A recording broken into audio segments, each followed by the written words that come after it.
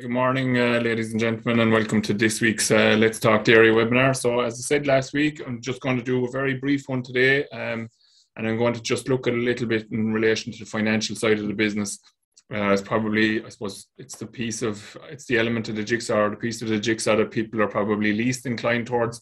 I know some people are very um, oh, fanatical is is one way of describing it. Maybe uh, other people quite quite obsessed with their figure side of things but the vast majority of farmers that I come across are very happy farming and doing the uh, the day to day work and uh, focusing on that. And when it comes to figures, they don't really want to to be working in that space too much. Really, they want to do as little as they can around that, do what they have to do for accounts and so forth, and kind of let other people maybe guide their business in that sense. So. Uh, that's not really a great way to operate. I suppose it's important that you know Uh, I suppose there's two things to it. I suppose in my mind, you need to know the cost of things, but you also need to know the value of things, and both of those things may not be the same. But knowing the cost of things, it, it helps you to put a value on certain elements of your business and so forth. So what I mean by that is that if you know how much it's costing you to do a certain or to to keep your cows, etc., and you want to buy something that's going to maybe make your life a little bit easier, you know you're in a position to pay for that item because you know your cost base and that you can afford it. Many people probably want know the value of something and want to buy it and go and buy it and may not be in the position to afford it. Uh, for various reasons, because it may be stage of life uh, in terms of development costs already incurred, or maybe just because of um, children in college, etc., which is an extremely expensive time for people uh, and is a big drain on cash uh, on farms when at that stage. And, and as is quite often the case, there's often more than one child in college at, at any given time, or there's a pro, or there's a period of time maybe where there's people in college for over four, five, six, seven year period because of people constantly going through the pro, going through the college phase so it can be quite expensive at that stage. So I suppose what I want to talk about today, look, there's a new profit monitor system. Uh, profit monitor isn't new, obviously, but there's a new profit monitor available for the coming year. Kevin Connolly deserves huge credit for the work that he's done. Uh, Kevin won't be a person that maybe might be very familiar to a lot of you, but Kevin is the man who developed Profit Monitor in the first place. And he's been working on this in the background. And I know that people on the call will be saying that I've been talking about this for a long time, and I probably have, but it's it's not it's not Kevin's fault that we haven't been in a position to deliver this. As uh, obviously some money had to be invested into the reprogramming of the of the new system, and budgets etc. have to come into play. So Kevin has had this in in its in a in a cupboard basically, I suppose, or on in, on his computer with the last two years, and had the idea of how he wants it to go and now it's going it's actually coming to fruition. So there's some minor changes that are not going to go into particularly today but um, more more cost breakout basically. So contractor costs can be broken down into slurry and silage etc contract rearing which is a very common criticism in the last number of years is now capable of being dealt with in a lot better way on the profit monitor and also that there's a consolidated reports so whether a replacement enterprise is now going to be considered as part of the whole business as opposed to just looking at the dairy business and then maybe having a replacement uh, enterprise that was actually losing money might as might be the case with the way people were uh, attributing costs towards the dairy business etc and not giving any or not putting a lot of costs against replacements that mightn't be justified. So i suppose um, just in, by way of um, just introduction, I suppose, as to why. So this this slide obviously says Profit Monitor. There's a rebrand. Obviously, be familiar with um, how companies rebrand things, and obviously this is is important to Teagasc as well that we kind of protect the Profit Monitor brand as well. So there's a new image associated with Profit Monitor, and the reports are going to change, and there's going to be watermarks on on report pages, etc. So um, that's all part of the the redevelopment piece as well. Uh, and this is the new logo for it. Uh, but I suppose what I will say uh, from the outset, look, from my perspective, when I walk into a farm and we have profit monitor information, it makes it an awful lot easier to start charting courses for people in terms of are they expanding, what's their succession plan, are they stepping back, what way they're going to work. If you have financial information, that's good. And that's very important, I suppose, very, very important point to make. Rubbish in, rubbish out Uh, and we're often get, get given out to, about producing figures and so forth. But at the same time, there's a responsibility on people that do complete profit monitor to submit proper good to submit good figures as well, because um, I don't know any business, uh, and I've often come across them where that can manage to do everything to the round figures of uh, thousand euro and fifteen hundred euro and fifteen fifty and eleven hundred euro. So I, I don't buy that that's correct information. It's a kind of an estimate. And then at the on the flip side of it, we have people then complaining about us using this information.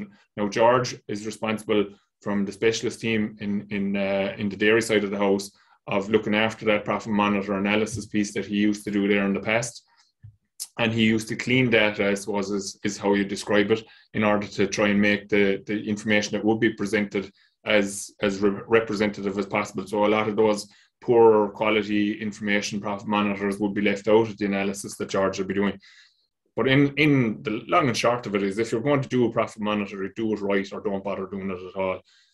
And again, that flies in the face of what I'm trying to promote here, I suppose. Look, Teagasc would love more people to be doing profit monitor. We'd love to see more people grass measuring as well, and we're working on that all the time. And we'll be hoping that this uh, new iteration of profit monitor will help bring people forward. But the context of today's talk is probably more so around knowing your costs. Profit monitor plays a role in that. Um, it, it helps you to look at costs in in a, a kind of a, a, planned, kind of designed way that, that Kevin has produced, obviously. But that's not to say that you can't establish your own costs. Um, there's many people with farm diaries and so forth with lots of stuff written into it um, that they use to, to establish their costs. And some some people that I know that are excellent at financial management don't use any kind of computers, but they have all very good notes in terms of either a ledger or, as I said, a farm diary that they keep figures in. And when it comes to planning, they're able to rattle off the figures, how much it cost them for fertilizer, how much it cost them for feed, for to do their business for the previous year, and what they're planning on doing for the coming year. And, and that's that works for them, so that's fine. So the key element of today is really that we're trying to get people to establish their costs. And the reason for that is you'd say, why, why, why worry about it? Like bank balances are probably not in a bad shape this year after the good milk price year fertilizer prices were low at the start of the year, so the majority of fertilizer that was bought was relatively cheap. Feed stayed okay for a good bit of the year, even even though it was at the high side probably at the start of the year anyway, and but has crept up obviously as well. Um, and the Outlook conference on Tuesday from the um, rural economy section of Teagasc have suggested that there's going to be a 16% reduction in, in uh, profit from dairy enterprises in 2022 because of increasing uh, costs. So fuel costs have gone up. Likelihood is contractor costs will go up on foot of that. Fertilizer is going to be high, and uh, feed is going to be high as well. So we need people to establish their their uh, cost per cow. Basically, I think is uh, is quite a good figure to work from because you can. It's a very tangible figure. So if you have hundred cows and you know it costs a thousand euros a cow to keep them or fifteen hundred euros a cow to keep them, you very easily can put establish what kind of figure you're looking at in terms of costs for for 2022 potentially, uh, and then add on what the extra is going to be. So I suppose the dairy conference a couple of weeks ago, as you will be aware, went online. The original plan was to do face to face, and we had a, number of presentations that were planned for the middle section of the day.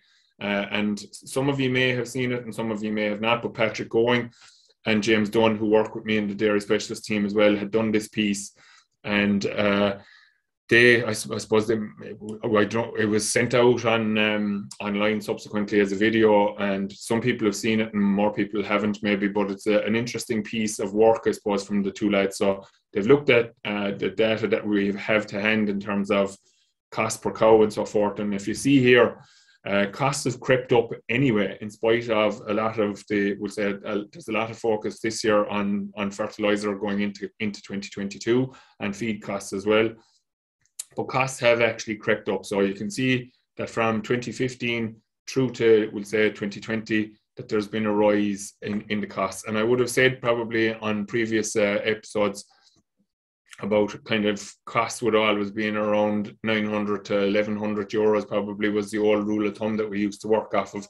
And what dictated it was um, basically whether it was good year or bad year maybe or depending on input costs how high or, or uh, otherwise they may have been. Um, but you can actually see that when we look at the 2015 figure, that the, the upper end of what was the, the old rule of thumb at 1100 is now the lower uh, end of the scale, and the 2020 figure has has brought that up to 1300. So where is that coming from? I suppose you can see here that the fixed costs, I suppose, have increased marginally, relatively speaking, because it's only talking about 80 euro uh, in 480 euros of a cost in the original case in 2015. So the main creep in cost is coming from variable costs.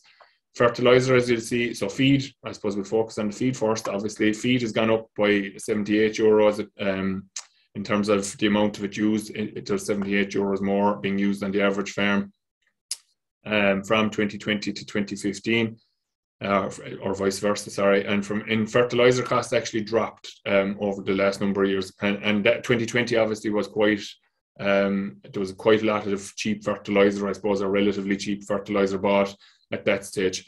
And then I suppose maybe you could attribute some of this to veterinary costs, etc., potentially because we say there's more vaccination beginning to take place on herbs and so forth. Um, and there's, look, there's other bits and pieces in there as well, but that's just one thing that springs to my mind that more people are probably vaccinating for more now, so that's another cost that's increasing. And again, I suppose, look, there's general inflation costs inside there as well. So you can see that there's been 100 and, nearly 120 euros of an increase uh, in, in those variable costs from 2015 up to 2020. And, as, and then you throw on the 80 euro of costs from uh, 2015 to 2020 in terms of fixed costs, and we're very close to 200 euro difference you can see that that, that was just under 2% of an increase from 15 to 17, and then we're closer to 3.5% of an increase from 17 to 20. And that figure is going to go higher, obviously, because on foot of fertilizer and feed for the coming year. I suppose just to focus on the predicted kind of costs or kind of throwing it forward, you can see here that the fertilizer cost is almost doubled for 2022 versus 2020. Um, there's a, very marginal change here in relation to the other variable costs. So the only costs the lads have changed here really are the feed and fertilizer because they're the main ones that are going to change. Um, and small little rise in terms of fixed costs here as well. So you can see that we've now gone from a 50, 1300 euro, so we've gone up 200 euro already uh, here, and we're now saying that this is going to be a further uh, 200 euro increase in costs associated with dairy farming in 2022.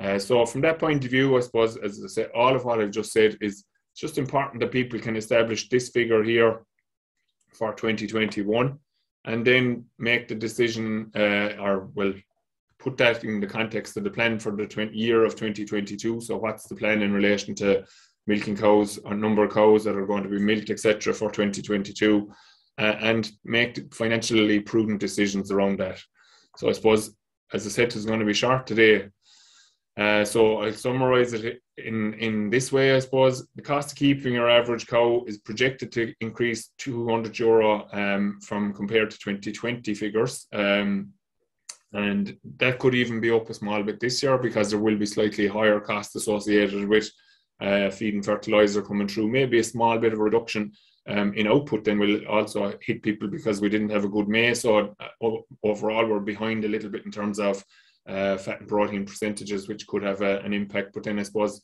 milk price will probably compensate for that.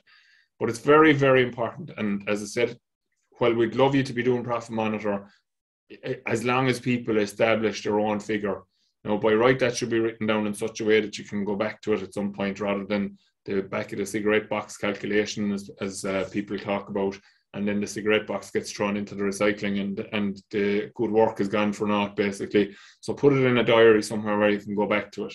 I suppose the key thing is that feed and fertilizer and it came out again in the outlook conference on tuesday as well 40% of those of is of total variable costs are coming from those areas so there is scope around that i suppose we need to be smart in terms of use of fertilizer and trying to buy it obviously for the coming year as well and then feed uh, i suppose like we'll always get um, challenged with that. We always talk about reducing feed, but there is scope to make small reductions in feed amounts uh, in 2022 that are going to save you relatively significant sums of money, I suppose. So if we only just take, for example, feed at 350 a ton at the moment, if people are feeding a ton of, of ration per cow and they can save 100 kilos, then they're obviously going to save uh, 35 euros per cow across the course of the year. And that's not a huge amount uh, or a huge change in terms of the amount of feed being fed, it's actually probably only going to be less than half a kilo across the whole main grazing season. So grass management comes into that. If we can get the right grass,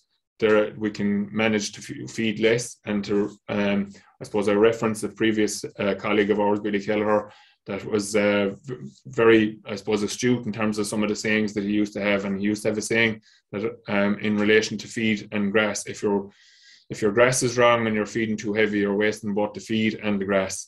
Uh, so if we can get the grass right, we actually don't need to have as much feed in and we can still get the same output. So I suppose there's a fear there all the time that if we drop back in concentrate usage that we lose performance. That doesn't have to be the case.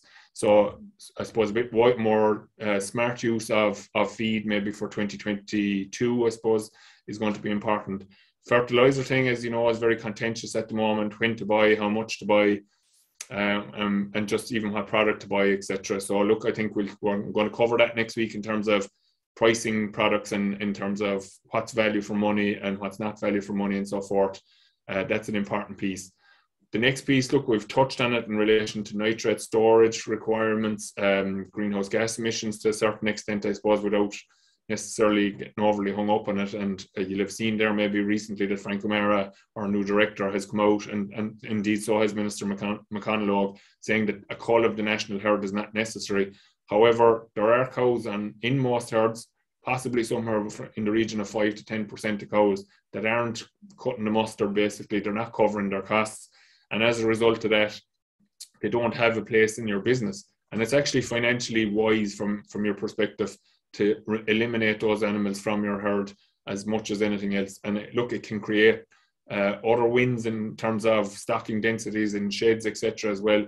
But the most important thing here is to know the figure. So this is knowing your own figure in terms of the costs of keeping the, keeping that cow.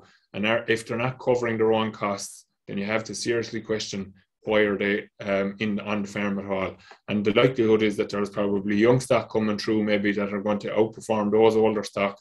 Um, and in reality, if you consider it, if you're losing money on an animal, you're obviously robbing Peter to pay Paul because there's other animals that are carrying the cost of those animals. And if we put it in the context of what I said here about trying to reduce our feed and fertilizer usage, there's scope to cut back a little bit if we have a few less stock, maybe potentially. Um, every case is going to be different. But we'll say if you're feeding, if you're on the on the edge of of the on the on the edge of the abyss, I suppose we'll call it in terms of stocking rate on farm, etc and and a lot of those cows are as as can be described being fed coming back to what joe said about marginal cows maybe a couple of weeks ago if they're being fed on all bought in feed if we eliminate those we can reduce the amount of bought in feed that has to come in which is going to be a very positive win in terms of cost base for 2022 and then the final piece i suppose the temptation will be there to cut the cloth to fit the table but people could cut the table or cut the cloth too tight um, it's important in terms of fodder budgets and so forth. And fodder budget was done this year on a on a cohort of farms, we'll say, and the plan is to do that on an ongoing basis every year. So not because we're in a in a bother, but because we want to have a handle on what kind of fodder stocks are in the country. And I think we've something in the region of 15 to 20% surplus silage basically on the dairy farms that filled in that survey. So there is scope probably to potentially to reduce the amount of silage that will be cut in 2022. But we don't know what the, the, the, next couple of months are going to bring in terms of the weather.